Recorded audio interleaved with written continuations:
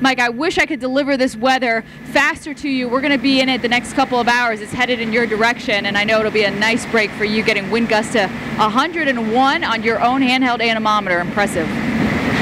Yeah, and I, think the winds right now, where we are, are even higher than that. So, so this is this is a storm to be taken very, very seriously. Now we're getting some some new wind reports there, Steph, out of Hobby at 78 miles an hour. So uh, we've definitely got uh, hurricane winds here in the Houston, Texas area, and certainly what it's going to do is going to knock out power. It's potentially going to knock out power to millions of people. So uh, CenterPoint and Entergy, they are going to have a heck of a job on their hands here uh, once this system clears. and you're going to try to get millions of people back online again, uh, that's for sure. We're thinking now that maybe within a half hour or so, we're going to see the eye right here in Clear Lake, which is in southeast Houston. Take a look at this incredible 3D image that we get courtesy of the TRMM spacecraft that is operated by NASA. It takes uh, visible and microwave imagery from space and, and, it's got a bead on Ike right now and absolutely stunning imagery coming in and you can see uh, distinctly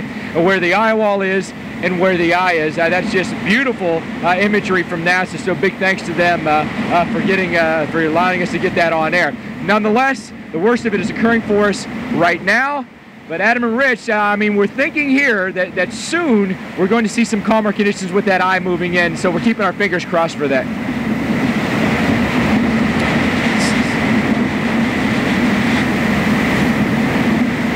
All right, let's show you some. Uh, let's show you some live pictures right now. Another location here in Clear Lake, and again, the thing about this is the winds are over 100 miles an hour, gusting over 100 miles an hour right now.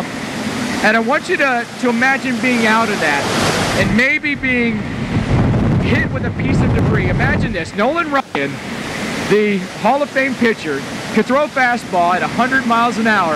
Imagine standing out there and letting Nolan Ryan hit you with a fastball. That is not something you'd want to happen. So this is truly amazing what Ike is dishing out right now. This is the worst that we've seen, obviously, uh, for the past two hours or so since we've been here in Houston the past two days. Uh, the problem about this is, my goodness.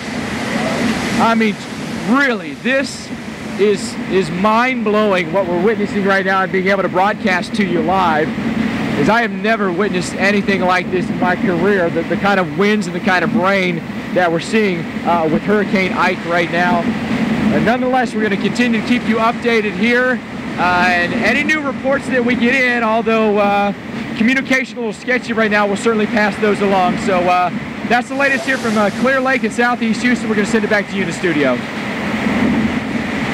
yeah, you're seeing all that wind there, Clear at Lake, Texas. Uh, Rich, this is amazing. You don't know if that's a snowstorm or what. The visibility, incredible. And as they pan away a little bit, you can see some of those palm trees just blowing back and forth.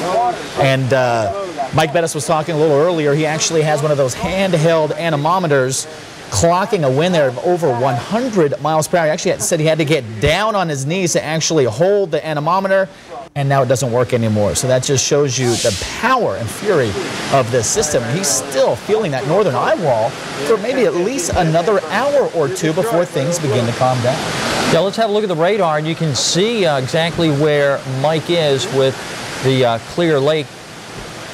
Yeah, we're going to go over to Clear Lake. You can see it right there, and he is in a band, one of those, the northwestern part of the eye wall right there. That is southeast of Houston.